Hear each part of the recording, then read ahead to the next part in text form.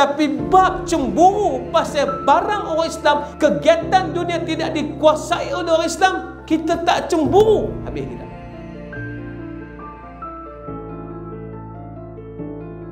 Kita tak akan biarkan dunia ini sia-sia. Sebab tu siapa tidak ada cemburu, Memang Islam tak bagi cemburu Tapi Islam suruh cemburu dalam bab ni. Apa dia? Berjalan-jalan-jalan Tengok kedai runcit Orang tak Islam kue buka. Kita tengok Kita tak rasa apa-apa. Kita rasa Oh Alhamdulillah ada kedai baru. Kita tak rasa apa? Kita tak rasa Allah Hai, satu lagi produk orang tak Islam keluar. Mana produk kita? Ha, kita tak rasa macam tu. Kita tengok orang Islam niaga Kita rasa malas nak beli. Kita rasa, hmm, tak payah beli eh. Apa beli mereka Mereka ni berniaga kan betul ingat Desen pun tak ada. Ha, kita tak rasa nak bantu orang-orang yang sedang berniaga dan jual.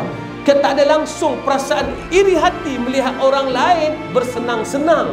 Mereka mendapat duit kerana kita membeli pada mereka. Tapi orang kita lah ni musim nak Ramadan. Ingat Yusuf Tayub pun dah keluar. Nak tahu Ramadan tak mana senang ya. Buka radio kurma ajwa Yusuf Tayub. Tuan-tuan ha? dekat Ramadan lah tu Tengah-tengah Yusuf Tayyip nak keluar produk-produk Islam ni. Ustaz-ustaz kita sibuk berniaga Termasuk arti-arti Islam kita termasuk sibuk berniaga kurma. Celah-celah tu ada orang tak Islam berniaga kurma juga. Kita pun kata hmm, sama ya kurma semua ni Hak Islam tak Islam sama. Mana iman kita?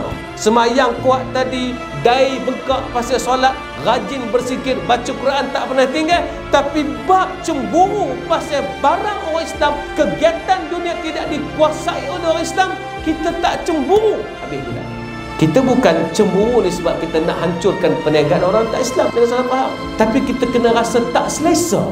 Eh, mana orang Islam kita?